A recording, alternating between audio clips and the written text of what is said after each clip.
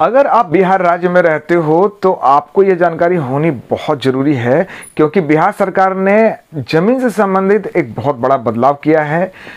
अगर आपने जमा मंदिर ने नाम नहीं चढ़ा रखा है तो आप ज़मीन को बेच नहीं सकते हो। ना ही किसी सरकारी योजना का लाभ उठा सकते हो। 90 परसेंट लोग जो हैं, अभी भी दादा परदादा की प्रॉपर्टी पर रह रहे हैं और अधिकार तो उनका है, लेकिन जमामंदी में उनका नाम नहीं चढ़ा हुआ है। और अगर आप चाहते हो कि अपने ज़मीन को बेचना या फिर किसी किसी सरकारी योजना का लाभ उठाना तो आप नहीं उठा सकोगे। पूरी जानकारी दूँगा, वीडियो में बने रहो, मेरे चैनल को सब्सक्राइब कर कर रख लो। आगे मैं इसी प्रकार की जानकारियाँ लाता ही रहता हूँ। साथ ही साथ नोटिफिकेशन बिल्कुल भी ज़रूर दबा लेना वीडियो पसंद आए तो लाइक कर लेना, दोस्तों के साथ शेयर कर लेना। चलो आगे बढ़ते हैं वीडियो की तरफ़। अब बात करते हैं कि कैसे आप अपना नाम जमामंदी में चढ़वा सकते हो और किस प्रकार की योजना सरकार के द्वारा चलाई गई है जिसके आधार पर अपना नाम आप अपने जमा मंदिर में चढ़वा सकते हो। देखो बिहार राज्य में पाँच प्रखंड हैं। सर्किल ऑफिसर भी उतने ही होंगे। अगर आप अपना नाम जमा मंदिर में चढ़वाना चाहते हो तो सबसे पहले आपको कुछ दस्तावेजों को अपने पास रखना पड़ेगा। उस दस्तावेजों में वंशावली है, मदर डीड जो है, जो आपके दादा, परदादा के नाम से चलती आ रही है, उसको रखना पड़ेगा। वंश वृक्ष के आधार पर आपको ये दिखलाना पड़ेगा कि आप जो है उस वंशावली में आते हो और उस वंशावली में कितने फरीकान हैं? क्योंकि जितने भी प्रॉपर्टियाँ आपके दादा परदादा के नाम से हैं, उस सारे फरीकानों में बटनी है। जब तक आप अपना बंटवारा साबित नहीं करते हो तो आपके नाम से जमामंदी में ज़मीन नहीं चढ़ेगी। अगर आपके नाम से जमामंदी में ज़मीन नहीं चढ़ी है तो सरकारी योजना का लाभ नहीं उठा पाओगे। चाहे आप बैंक लोन लेना चाहते हो मॉर्गेज रखना चाहते हो किसी सरकारी आवास का जो मिलता है, उसका लाभ उठाना चाहते हो तो इस प्रकार की योजनाओं से भी अगर वंचित हो जाओगे, अगर आपने जमा मंदिर में नाम नहीं चढ़वाए अब क्या योजनाएँ चलाई गई है सरकार के द्वारा? हर प्रखंड में पंचायत स्तर पर कैंप की सुविधा दी गई है और मंगलवार, बुधवार और बृहस्पतिवार को कैंप के में जाकर आप अपना आवेदन कर सकते हो और भूमि सुधार अधिनियम के अंतर्गत आप अपना जमाबंदी में अपना नाम करेक्शन करा के अपना नाम चढ़वा सकते हो।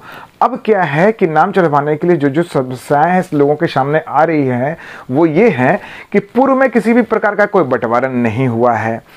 सब लोग इजमाल प्रॉपर्टी पर रहते आ रहे हैं। 90 परसेंट लोग, जैसा कि मैंने कहा है, वो इजमाल प्रॉपर्टी पर ही रहे हैं, बिना बंटवारे के।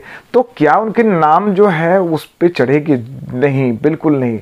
आपको अपना नाम जमाबंदी पे चढ़वाने के लिए आपके पास बंटवारा होना बहुत मस्त है।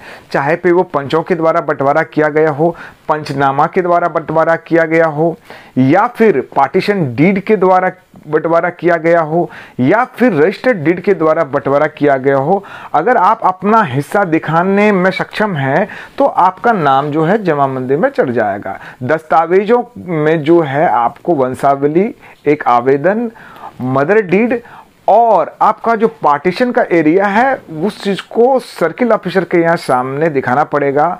या फिर आप कैंप में जाके इस चीज़ों को दिखलाओ और सर्किट ऑफिसर जो कर्मचारी को है, उसको डायरेक्शन देंगे कि उसके वेरी उसका जाके वेरिफिकेशन करो और जो तहसीलदार जो होते हैं सर्किल जो ऑफिसर होते हैं, वो कर्मचारी को ये आदेश देंगे और अब वो आपके गाँव में आएँगे आपके मौजे में और आपकी जमाबंदी का शिनाख्त करेंगे कि वो कितने फरीकानों के अंतर्गत बटना है या फिर कितने फरीकानों के पास ये ज़मीन बट चुकी है।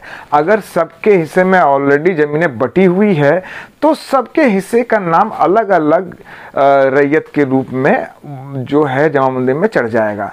अगर आप अपना हिस्सा सिर्फ़ निकालना चाहते हो अपना नाम चढ़वाना चाहते हो तो सर्किल ऑफिसर के यहाँ जाके आप, अपना दे सकते हो। सर्किल ऑफिसर जो हैं, वो सभी फरीकानों को नोटिस करेंगे और अगर सभी पक्ष जो सहमत हैं, वो तो फिर वो आपके बंटवारा के आधार पर आपका नाम वहाँ पे चल जाएगा। वहाँ अभी अगर आप कोई भी परिकान अगर सहमत नहीं है तो आप पार्टीशन शूट में जा सकते हो। पार्टीशन शूट में कुछ समस्याओं का सामना करना पड़ सकता है, वो लॉन्ग समय पर भी चलता है। लेकिन अगर पार्टीशन क्लियर है, अगर तीन भाई हैं और तीन हिस्सा होना या चार भाई है चार हिस्सा होना है तो आप पार्टीशन शूट सेपरेट फ़ाइल कर दो क्योंकि वो पार्टीशन में वो फिक्स्ड एरिया आपको मिलना ही मिलना है।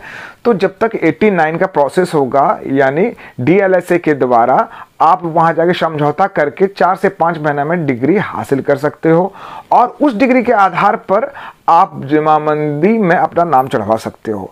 और अगर पहले से ही आपके पास पार्टीशन किया हुआ है, तब तो आपको किसी भी प्रकार की कोई समस्या नहीं होनी है।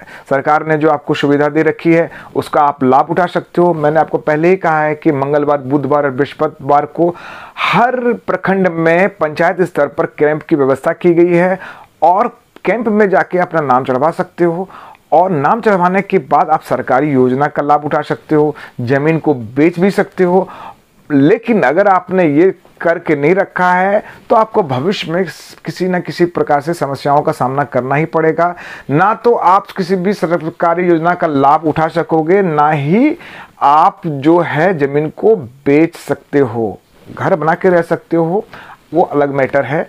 अपना काम खुद कर सकते हो, अलग मैटर है। लेकिन अगर आपको किसी भी प्रकार का खरीद फरोख्त करना है, बेचना है तो जमाबंदी में नाम का करेक्शन होना बहुत ज़रूरी है। आशा करता हूँ आपको ये वीडियो पसंद आया होगा। अगर आपको मेरा वीडियो पसंद आया है तो मेरे सब चैनल को सब्सक्राइब कर लो।